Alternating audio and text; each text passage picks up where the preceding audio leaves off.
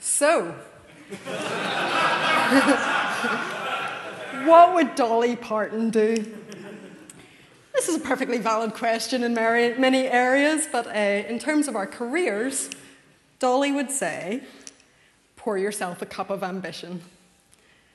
So, my aim for this talk is basically that to have a, a think how we can review our own careers, to be more ambitious, to craft something that suits us individually um, for the best possible career we can have um, to suit our, ourselves and our whole lives.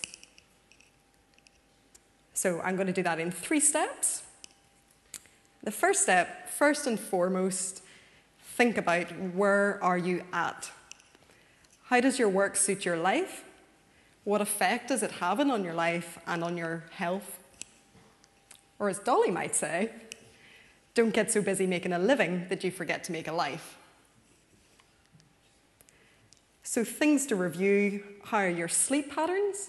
How are your energy levels? Record these every single day. Are you excited about what you're working on? Are you pleased with the results? Record it. Is your work satisfying? Is it the right level of challenge? Guston explained this exact slide much better about an hour ago. But basically, I guess the slide comes from a psychologist whose name I can't pronounce, but who talks about the mental state of flow, of being completely absorbed in the activity you're doing. I think that the, the diagram's interesting just to keep under review um, your feelings in relation to your skill level and the challenge levels. So, possibly if you're feeling anxious and stressed at work, it's because the challenge level is too high for your skill level. Or if you're bored or feeling um, apathy, perhaps the, the challenge level is just too low. So, just to keep under review whether these things are external or internal and be aware of what you can do about those things and record them. And recording these things on a daily basis might be as simple as just keeping a diary. Or our good friend Corey's Mercury app, where you can track your feelings about certain activities on a daily basis. And then you can easily go back and review that, um, maybe on a monthly or quarterly basis. And so, on to the second big part of the review the question you might want to ask yourself is where do you want to be? Or as Dolly might say, find out who you are and do it on purpose. Many of us in our teens at school, the careers advice um, didn't match our dreams and was very maybe focused on just putting people into um, a very small handful of boxes in my school, if you were remotely um, good at math or science, you were um, shepherded towards medicine. If you weren't scientific, it was law. And if you weren't smart enough to do either of those two things, it was teaching. that's what we got. Oh, well, that's what we got. I've always been stubborn enough to ignore any of that professional advice and um, did art instead. But we're big kids now, so what I think we should do is really focus on what we, you know, choice driven development, I think it should be called. One exercise that's useful to sort of determine um, if our choices match who we are and the, um, what would make us happiest is to look at um, what gives us meaning, which might be things like solving problems, writing, what gives us pleasure, which could be things like maybe reading or music, and what are our strengths, which might be things like being enthusiastic or having good problem solving skills. And to note the trends between these three areas, identify areas of overlap, and ideally then figure out how to maneuver your career to do things that are in that overlap area. Ask yourself, what can I do on a practical level? What opportunities are available to me? And also, what limitations are there on me? These might be geographical, for example. But also ask yourself, what do I want to do? Going back to what gives me meaning and pleasure. And perhaps you want much more than what you currently can do for whatever um, opportunities or limitations there are. And think about your competencies and how you can get to use these. I like to think of this as a sandwich. So you've got what you can do as your sort of base starting point, what you want to do, what you aspire to do. And your competencies are really the thing that will bridge that gap, that can come in the middle, um, and things that you can work on to maybe easier reach the, the, the what you want to do, what you aspire to do.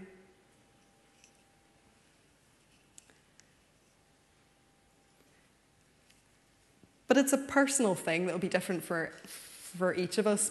To, it's worth actually defining what would be a win for me.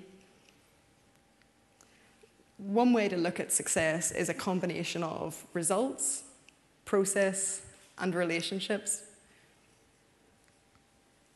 The results is fairly um, straightforward. It's not all about the Benjamins, but for most of us, money is going to be a pretty important factor in our career choices. For many of us, um, a kind of uh, success part of our um, results is solving problems and ideally helping create shiny, happy people through solving those problems in creating software. In terms of process, how can our work and process contribute to our overall sense of um, success?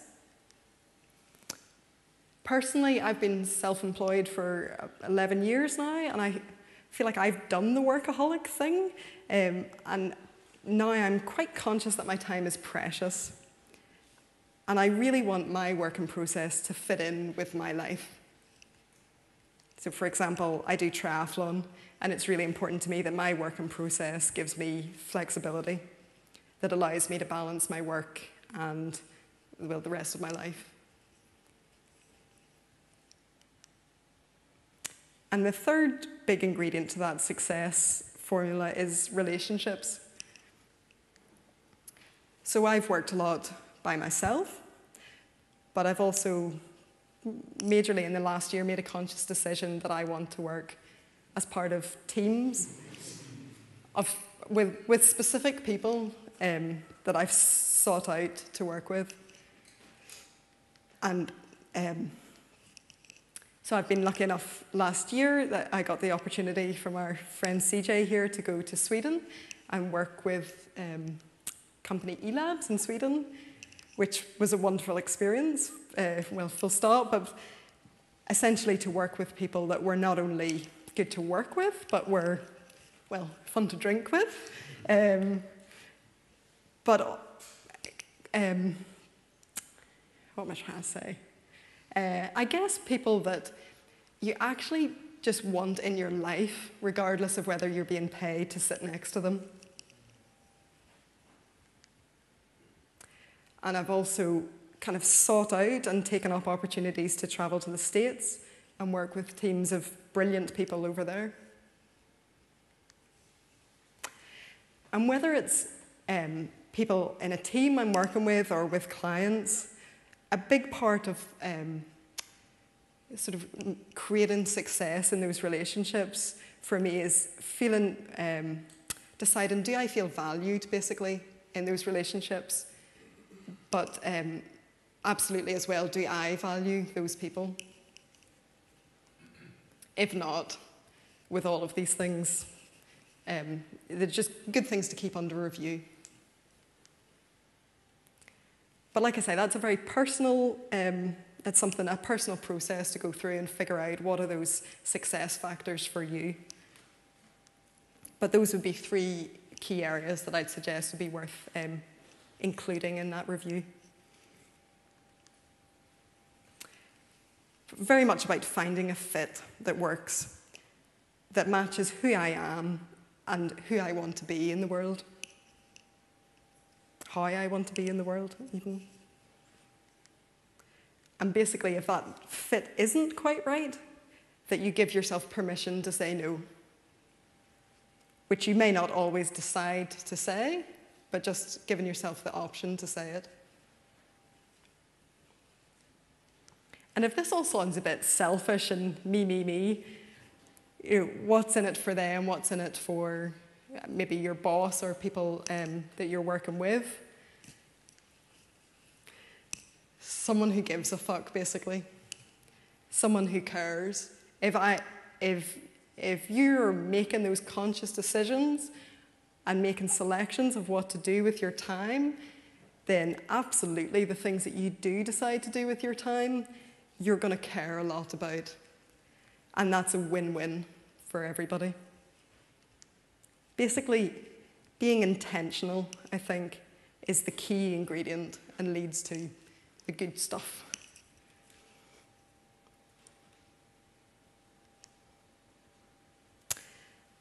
And so, the third last big um, area of review how do you support yourself to get there? As Dolly might say, if you don't like the road you're walking, start paving another, another one. And I've been speaking to a lot of um, friends in our industry recently about kind of conscious decisions they've made that they, you know, have um, enabled their success. And the common thread just seems to be people making an intentional choice about what they want to do. So James Golick has tweeted about leaving consulting and going to a company that works that builds one product and he's personally found that infinitely more rewarding. Guston here has spoken about a similar path to becoming a product based company. Joe O'Brien told me about his deliberate choice, or actually self awareness, really, I guess, of how um, that his personal skills were to do with people.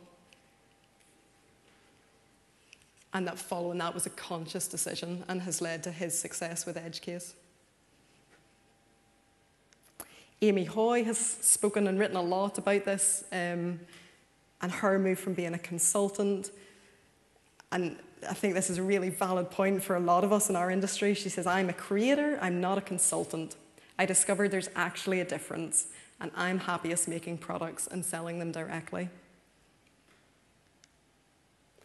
And Corey Haines has said, I don't ever want to be paid to write code.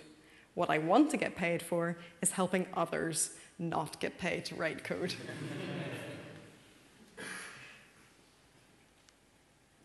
But the important point is really that every choice has a consequence. And making no choice very much has a consequence. So, again, the key thing just being intentional, whatever direction that leads you in, is, is going to be beneficial for you. And one strategy that I found um, to help support yourself to get to where you want to go is this idea of actually having a personal board, like your own personal board of directors.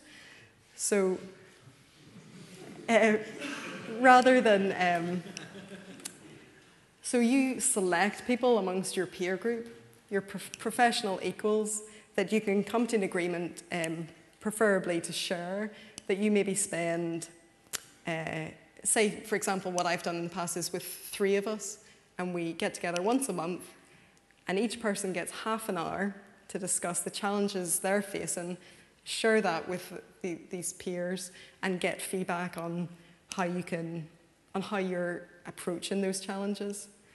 Um, and I guess people that will help hold you accountable to what you've said you want to achieve. Um,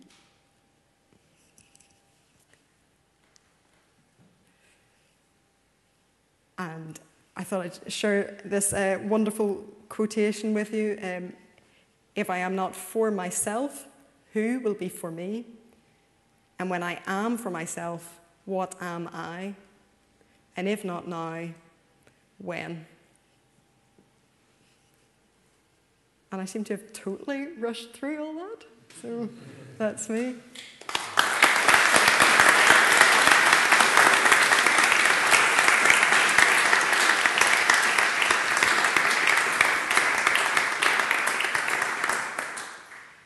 So, any questions, or feel free to share your thoughts with us?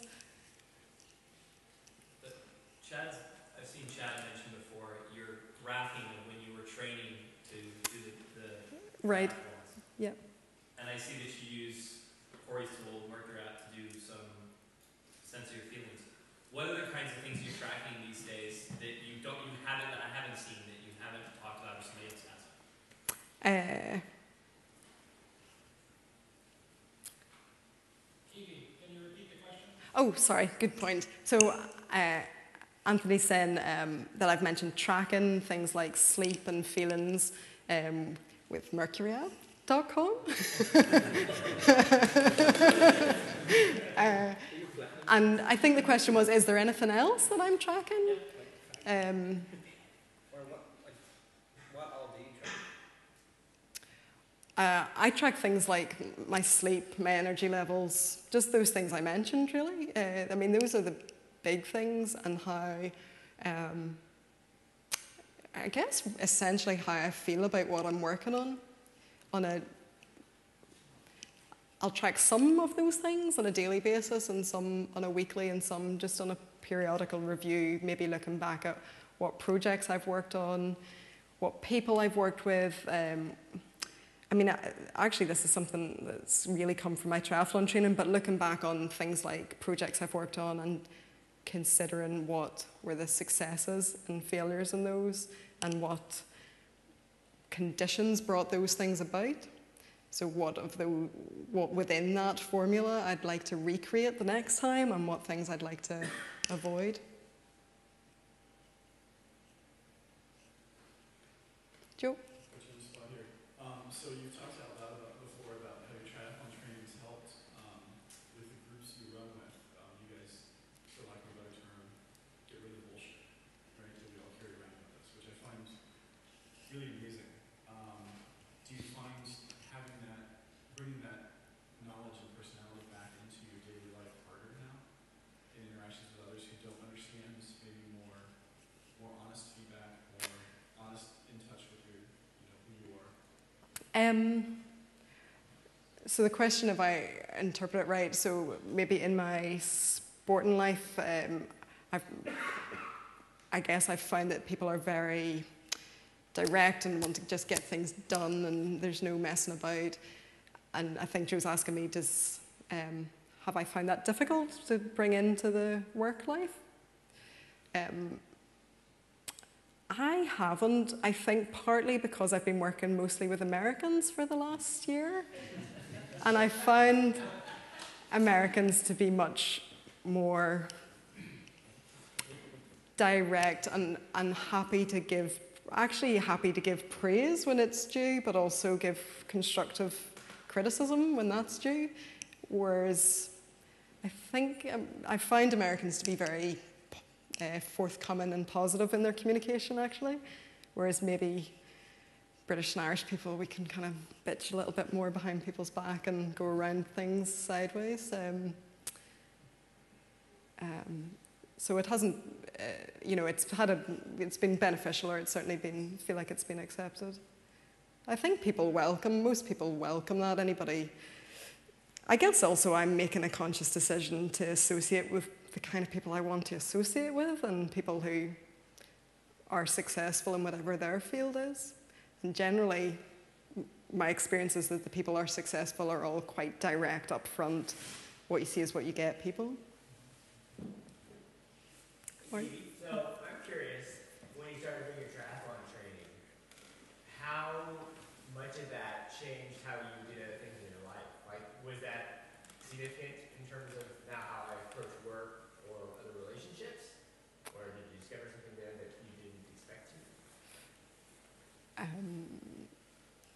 Oh, God, it's really hard to paraphrase the question. well, I did.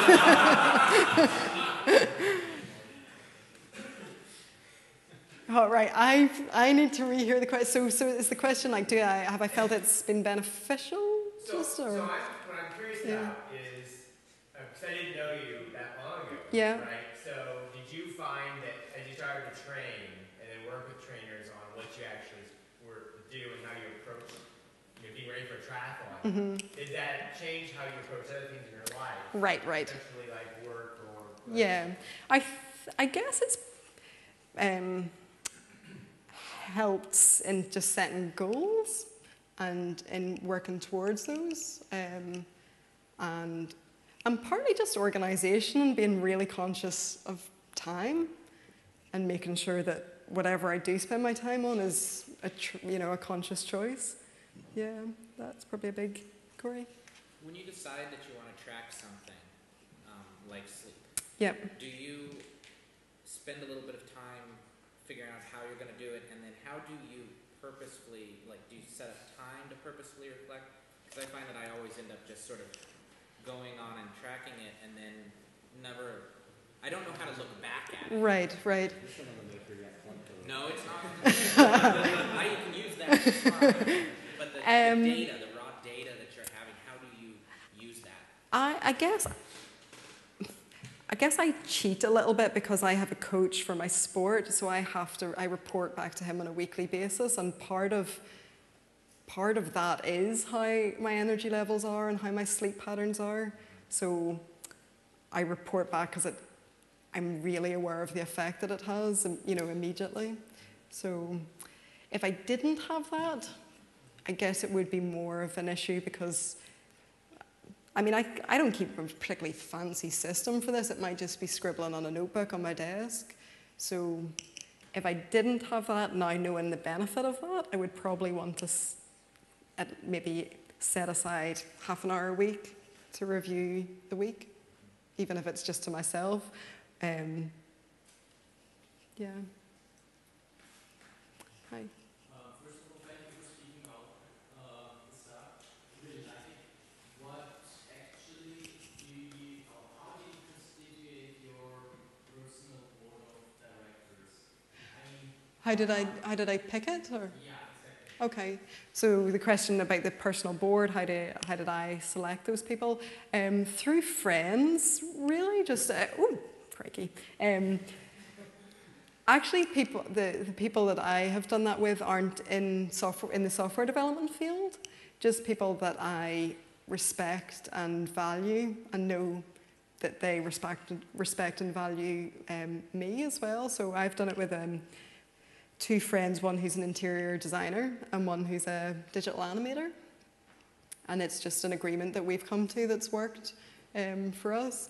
I think the important kind of part of that is that they're professionally equal to you rather than, I, know we have a lot of talk in the community about mentors and um, apprenticeships and that kind of thing, whereas this is something different more that you're you're not looking for these people to tell you what to do. You're, you're just wanting to share what challenges you're having and just have that dialogue with people who are probably facing similar, similar issues, albeit possibly in a different domain. So, so the role of a board and the role of a coach are clearly different. Do you find them both really valuable? I mean, clearly, I, I expect the answer to be yes. But Um, yeah, so just the difference between having a coach and uh, the personal board, I guess. Um,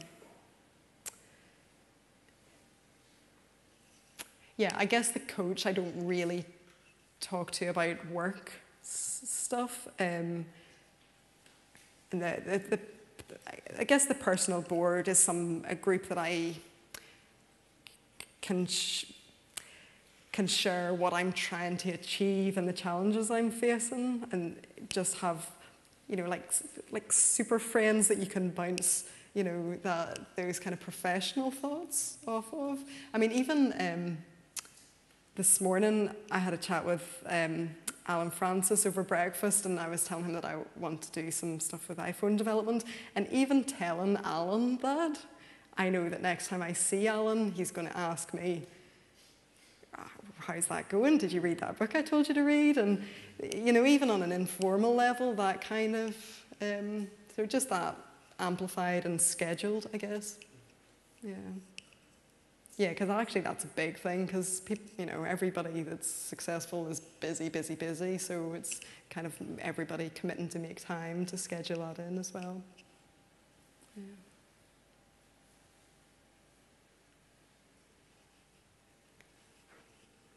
One point I should have probably mentioned, well, why am I admitting this now? But I do feel slightly ridiculous giving a talk on career advice, given that um, I've never applied or had a normal job in my life.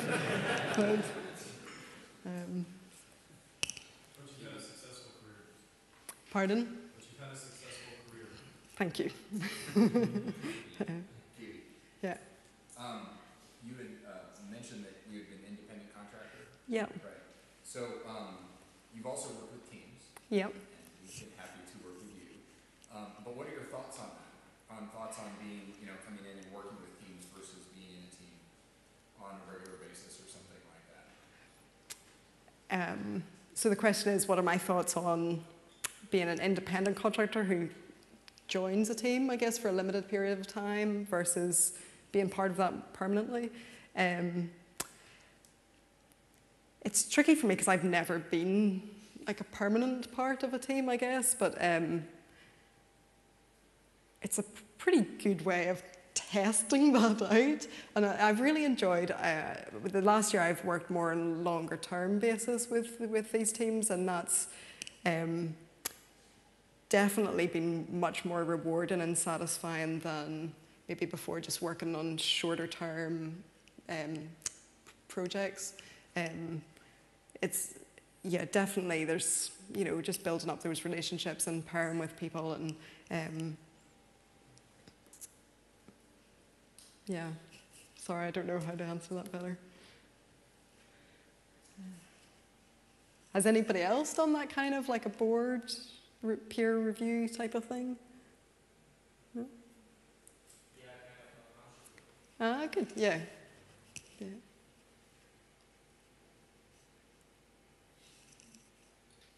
Cool. Well, we're all nice and early then for the keynote.